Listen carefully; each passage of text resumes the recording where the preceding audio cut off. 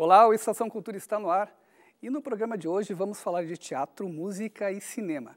Tem um bate-papo com a equipe da peça A Aula Magna com Stalin, uma reportagem sobre o espetáculo Galileu Galilei e Jaqueline Chala comenta o filme Nocaute. E a cantora Marina Lima está em Porto Alegre para apresentar amanhã o show No Osso, no Teatro do Bourbon Country. Tudo bem, Marina? Tudo bom, como vai? Por que No Osso? Porque não há sobra, não há nada sobrando. É na medida no osso, é quase um raio-x das canções que eu escolhi. É essência. E a essência que começa também no modo que você compõe, né, que é com o violão. É, hoje em dia eu já componho também muito no computador. Mas eu comecei no violão, é quase uma extensão do braço, né? eu toco violão muito bem. E compus muitas canções no violão. E essa é, a, é como eu escolhi o repertório, sabe? A partir da ideia das composições que foram feitas Sim, composições que elas no violão, com a voz já bastam. São quase que a moldura das canções, sabe? Já bastam aquelas canções. Então eu escolhi isso. É um espetáculo que você está com violão em cena, então. Com violão em cena, estou numa poltrona. Eu não sei, eu jamais poderia fazer banquinho e violão. Não é meu tipo, né? Então, o que, que eu fiz? Eu transpus assim a poltrona da minha sala. Eu toco muito violão na sala. Aí, como o filme vai fazer uma poltrona, eu sento, boto o pé para cima, tiro o sapato e aí começo. E você já É tinha- muito íntimo. É uma sabe? intimidade, ah, ah, o público, acredito, vai poder ah, visualizar essa forma como que você transita né, pela, pelo modo de composição, teus processos de criações. Mas você já tinha feito alguma vez ah, um espetáculo de voz e violão? Nunca. Eu achava que era muito simplista isso para mim, porque que eu toco eu sei e tal, mas eu sempre valorizei muito as canções e músicos também. Então eu achava que era uma coisa simplista. Mas nesse momento, agora na minha carreira, com as voltas que o mundo dá e tudo, eu acho que é essencial fazer esse espetáculo. Para mim é muito importante. Voz, violão, sem um alicerce, só eu, o violão, minha alma ali e o público. Eu quis isso, sabe? Você contou que eh, esse repertório escolheu algumas canções que foram feitas então com, ah, com acompanhada pelo violão, né? O violão Ah, já basta, sabe? Desse repertório, então, que músicas que estão aí? Quer dizer, novas canções e também antigos sucessos? Olha, tem um pouco de tudo. Tem duas novas, duas canções inéditas, um rock e um samba, sugestivamente. Tem algumas canções conhecidas, feito Virgem, feito é, Noite e Dia do Lobão, feito Chamado e tal. Alguns lado B's também, sabe? São canções que o violão já meio que orquestra tudo, entendeu? E eu estou muito feliz por demonstrar isso, assim. É uma intimidade que eu nunca mostrei antes, entendeu? Muito íntimo mesmo. Não é nem que seja um show intimista, é um show íntimo. Marina, eh, esses- essas novas músicas, você já está preparando um repertório para o novo CD? Não, ainda não. Eu quero começar a fazer isso ano que vem. Eu sinto muita falta de. de porque ao mesmo tempo que eu adoro tocar violão e tal, eu, esse universo, assim, de música eletrônica me pegou, assim, a mosca azul.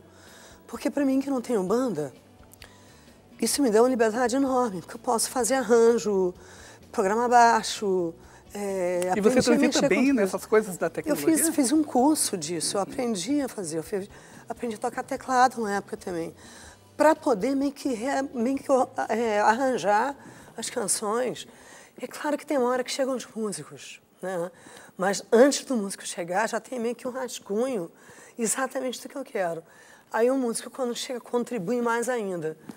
Marina, no show que vai acontecer lá no Teatro do Bourbon Country, ah, nessa sexta-feira... ah, Por que, quem- que do Bourbon Country? Porque é o nome do, do, do, do- do espaço do shopping, né? Sei, cha- chama. Shopping Bourbon, Bourbon Country, Country. né? Então é o Teatro do Bourbon.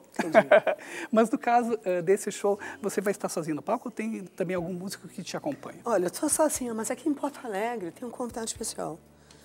É um cara que é um grande músico, que toca comigo há algum tempo. Eu acho ele um grande artista, na realidade. Acho ele melhor, um dos melhores músicos do Brasil. E ele mora aqui. Né? Então, estou convidando ele para participar do show e tocar umas seis, sete músicas comigo. O show tem 20 músicas. Ah, e tem uma hora com o Edu Martins, que é um produtor, um cara muito querido meu, que mora aqui com a Bia Hetzel, também que é uma querida minha. Ela é gaúcha. De Pelotas, Legal. mora aqui. O Edu Martins, então, vai estar participando contigo. Uh, Marina, uh, pensando em Porto Alegre, né, a tua relação, uh, no caso com o Edu, por exemplo, que é aqui do Rio Grande do Sul, a tua relação com, com Porto Alegre, como é que ela nasceu? Ela nasceu no projeto Pinchinguinha, um projeto que tinha, talvez volte agora da Funarte. É, foi o primeiro show que eu fiz na vida. Olha. Eu era convidada da Zezé Mota e do Melodia. E teve a estreia aqui em Porto Alegre no teatro, não sei se era a reitoria. Eu acredito que o Pixingueira era na reitoria da URGS, é, pelo que eu me lembro de memória, e foi né? Um, é, e foi a primeira viagem que eu fiz, né, como convidada, eu tinha, sei lá, 20 anos. E foi aqui, e no meio do show acabou a luz. e a gente voltou pro hotel, todo mundo tranquilíssimo. O público também esperou, a luz voltou, voltamos para terminar o show. Uma história louca. E desde então eu tenho tido shows aqui meio que únicos, assim. Eu sinto que o público daqui ele é muito politizado, ele não se engana fácil, ele é exigente, entendeu? Musical, radical, entendeu? Eu me identifico com isso. Que legal. Sabe? Marina, muito obrigado pela tua participação Imagina, aqui no Estação. Cultura. Lembrando então que o show ele acontece na sexta-feira, 9 horas da noite, lá no Teatro do Bourbon Country. Country. uh, Marina, falando uh, na reitoria da URGS, né, uh, no Salão de Atos da reitoria da URGS Uhum. e também no Luiz Melodia, com 40 anos de carreira, o Luiz Melodia esteve aqui recentemente em Porto Alegre e está com um novo CD. E ele conversou com a nossa equipe sobre o disco e também sobre a sua passagem pela capital dentro do projeto Irreverentes, que é lá da URGS. Vamos ver, vamos ver.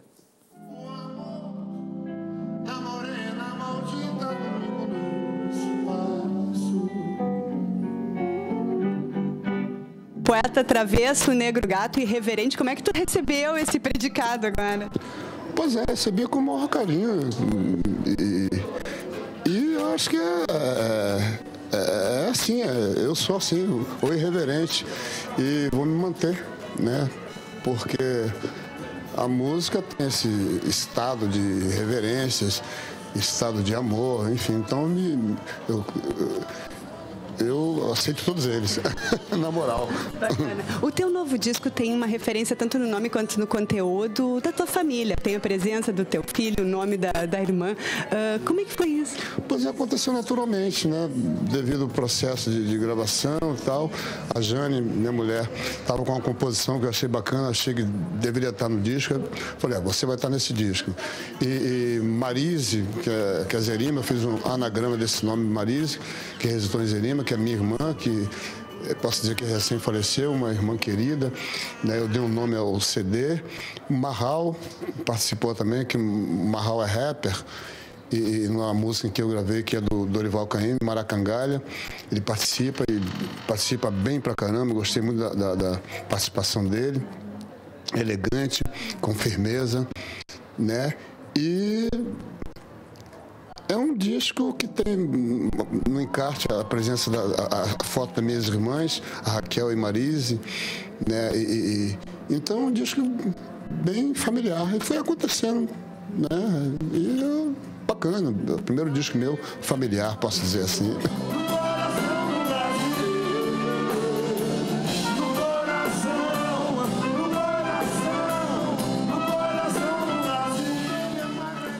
Estação Cultura faz um rápido intervalo e volta já com os destaques do Porto Alegre em Cena em um instante só.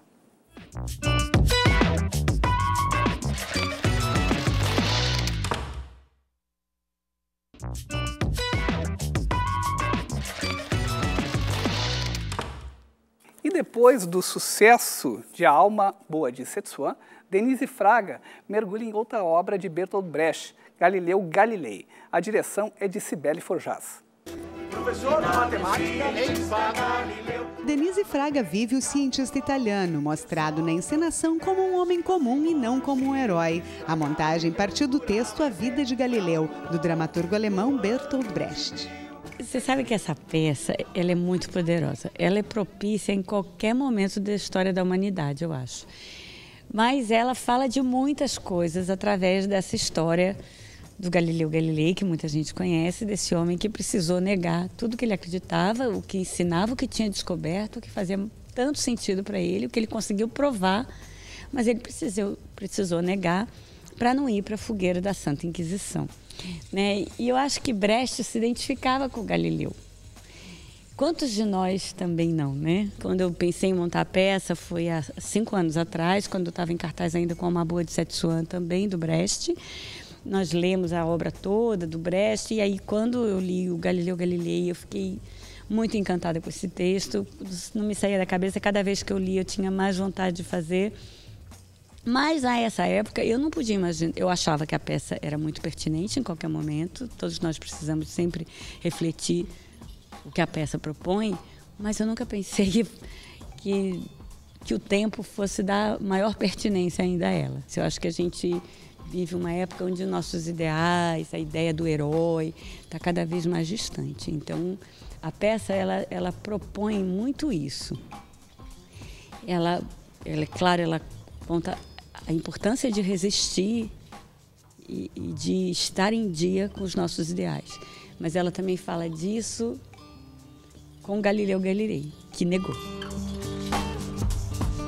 Claro que tem um trabalho corporal, um trabalho vocal, né? Mas a, a, até a Cibele fez uma coisa muito bonita no espetáculo, porque várias vezes eu tiro a peruca, falo de Denise com a plateia, volto a vestir a peruca e com um trabalho corporal volto ao Galileu, né? O Galileu, de alguma maneira, eu não, não grudo uma barba, né? Porque ficaria meio ridículo, né? Vamos combinar eu tentar. Mas eu encarno o Galileu. E é louco porque quando eu não gosto nem muito de ver foto do espetáculo, porque na hora que eu tô lá, eu penso nele, eu não penso em mim, com aquela peruca, aquela roupa. Brecht recruta a gente e o que é mais legal, com humor. Porque fala isso tudo com você, rindo, com ironia, com, com com ironia sutil, maior, melhor estilo brechtiano, que faz a, que a gente, a partir de uma boa história, a partir de música, o espetáculo, a encenação da Cibele é linda, é festiva. o sol não se mexe, se move o cientista Galileu, Outro espetáculo que está na programação do Porto Alegre em Cena é a Aula Magna com Stalin, que faz sua última apresentação hoje no Instituto Goethe. Eu converso agora com o diretor William Pereira e o ator Felipe Folgosi. Tudo bem? Sejam bem-vindos a Porto Alegre. Muito obrigado. Ontem o espetáculo uh, estreou ali no Instituto Goethe, e, mas é um projeto que você tem há muito tempo, né, William? É, esse, eu descobri esse texto há, há exatos 20 anos. Então, faz 20 anos que eu tinha, eu tinha vontade de montar esse texto e, por razões diversas, eu não, não, não, a gente não conseguiu. Daí, esse ano, é, nós fomos aprovados no, no, no, no, Centro Cultural do Banco do Brasil. Estou realizando uma temporada muito bacana em São Paulo, de, de dois meses. E essa é a nossa primeira viagem com o espetáculo. Né? Olha. Né? Então, aqui a gente está muito feliz de, de, de, estar tá fazendo aqui nesse e festival. o espetáculo chegou, foi apresentado ontem, né? E ele é, faz uma discussão sobre arte política, a, a função da, da arte, né? Hum. Uh, o engajamento político ou não possível dos artistas. Como é, é. que uh, isso é colocado dentro desse espetáculo? É, no pós-guerra, né, em 1948, Stalin estava no poder e, e houve uma uma determinação política do Estado de que todas as artes teriam que, de certa forma, fazer propaganda né, do regime. E a música, pela importância que tinha na, na União Soviética, talvez foi a que, uma das que mais sofreu. Né, e o, o meu personagem, que é o Dmitry Shostakovich, e o do Carlos Palma, que é o, é o Sergei Prokofiev, eram dois dos maiores compositores da época, foram totalmente cerceados, né? E eles se viram reféns dessa política estatal do Stalin.